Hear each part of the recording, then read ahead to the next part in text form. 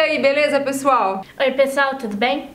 A gente está começando mais um episódio da série Cozinhando com a Bia e hoje eu vou ensinar a Bia a preparar uma maionese de cebola que é deliciosa. Aqui em casa a gente faz essa maionese pelo menos uma vez por semana, não é? é? E para finalizar a gente vai fazer aqui o quê? Cachorro quente. Tem coisa mais gostosa?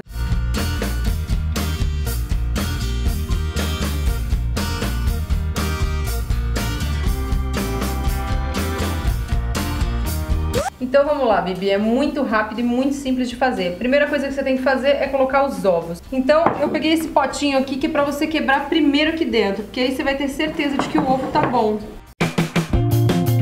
E esse ovo tá bom, então pode jogar lá dentro do liquidificador.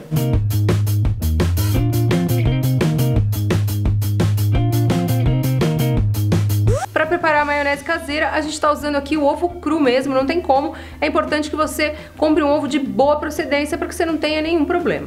Então vamos lá. Agora vamos colocar uma colher de sopa de mostarda. Agora pode colocar aí duas colheres de sopa de vinagre. E a cebola.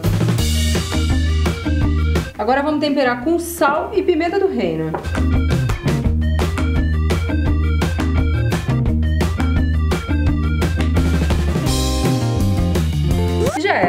Agora a gente vai tampar e bater.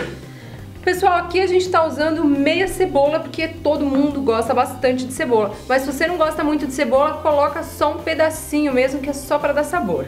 Agora a gente vai ligar e por esse buraco aqui, a gente vai jogar um fiozinho de óleo por vez, até engrossar e formar a maionese. Então vamos lá, liga aí.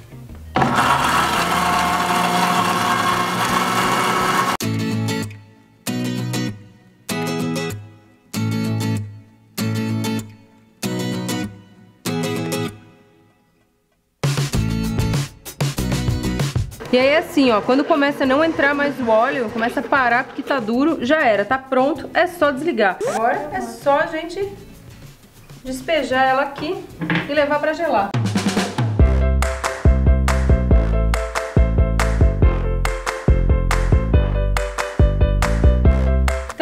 Leva ela pra geladeira pra ela ficar geladinha enquanto a gente prepara o nosso cachorro quente. Nossa maionese deu uma geladinha e a gente já cozinhou nossas salsichas, então agora a gente só vai montar o nosso sanduíche. E o Léo, claro que já sentiu o cheiro e já apareceu aqui, né, não, Léo? Sim. Hum. Então vamos preparar nossos hot dogs aqui, porque a gente tá com fome. Fala pra gente, comenta aqui embaixo, o que, que você coloca no seu hot dog? A gente gosta de ketchup, mostarda, maionese, batata palha. E você? Conta pra gente, escreve aí embaixo.